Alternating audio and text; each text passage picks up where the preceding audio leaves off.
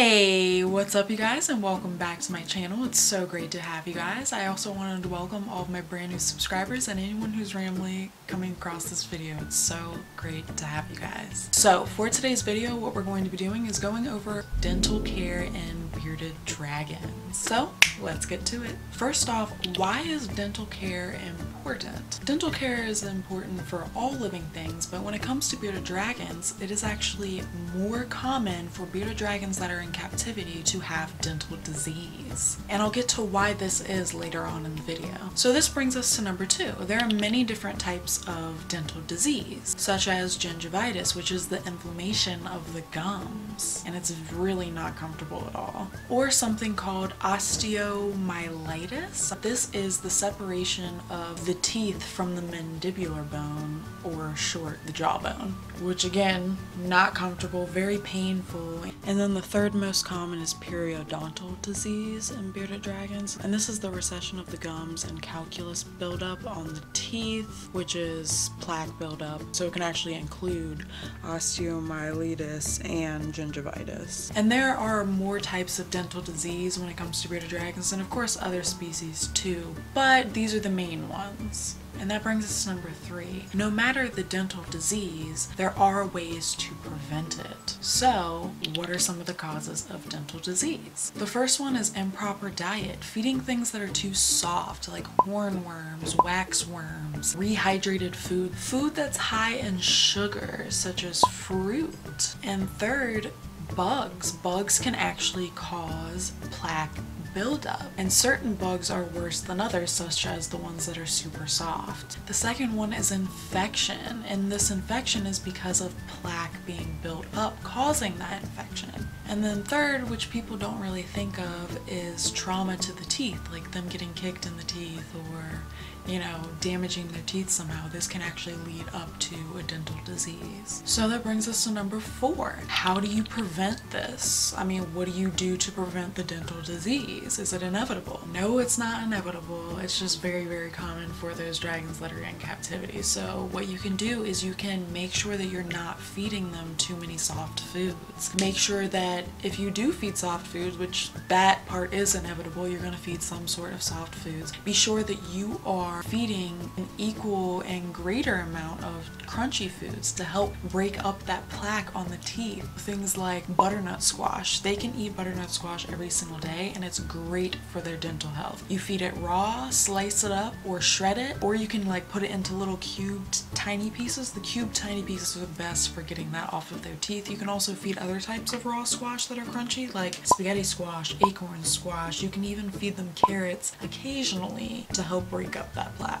Also be sure that you're not feeding too much fruit. You should only be feeding fruit at max twice a week. Too much fruit isn't good for any dragon because it has too high of a sugar content. Be sure that your dragon is safe. They aren't getting any damage to their teeth. There's no way for them to damage their teeth. And then finally for preventative measures, be sure that you just look at their teeth. You're checking frequently. And what you're looking for are brown spots or a bunch of plaque buildup. And if this is happening, then what you need to do is you need to give them something crunchy to eat. You can try to brush their teeth if you want to, probably not gonna go well. You can try to use a mouth cleaning pad that you can get from any vet again might not go well. You'll probably get bit going that route, but it is a possibility.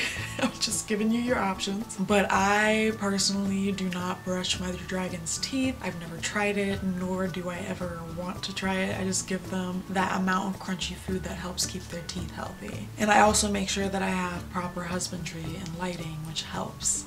And that brings us to our final topic. So why is dental disease more common in bearded dragons that are in captivity? This is simply because us as owners, we love to spoil our dragons and typically that happens by feeding them and those foods that we spoil them with typically are those ones that aren't great for them or, or their teeth which are those soft super sugary foods. Or it could be the fact that this owner does not know proper husbandry care, diet, and doesn't know the dental risks. So whatever the case may be, If your bearded dragon has a dental disease, or if you think they are at risk for a dental issue, you need to go to the vet to get them checked up. Because the earlier they can catch the issue, the better they're going to be able to treat it. If the teeth are too far gone, they're too far gone. So it's better to check this regularly and be sure you catch it in the beginning. And yeah, so that's all I have for this topic. But if you're still watching, be sure to stay tuned to the end for extra lizard footage.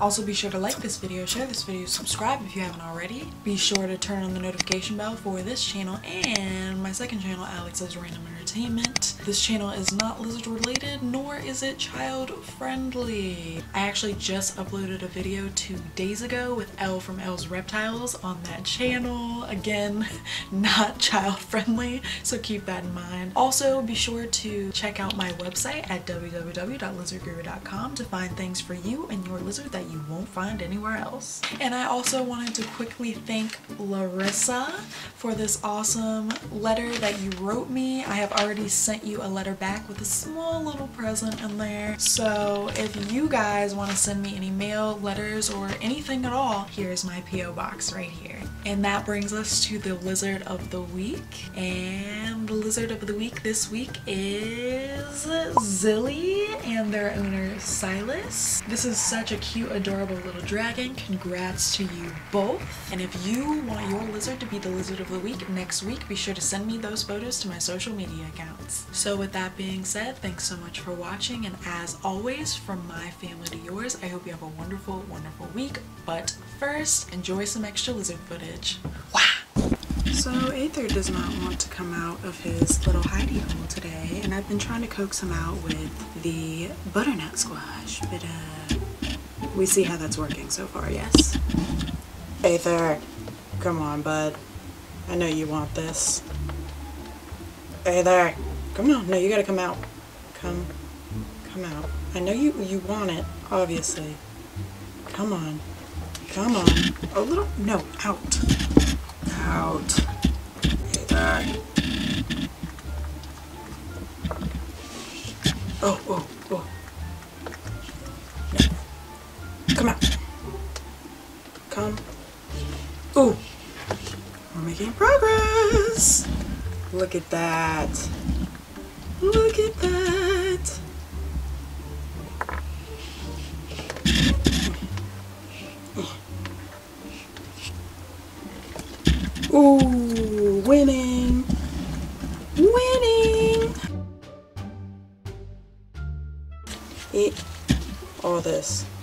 Salad. Please? Come on.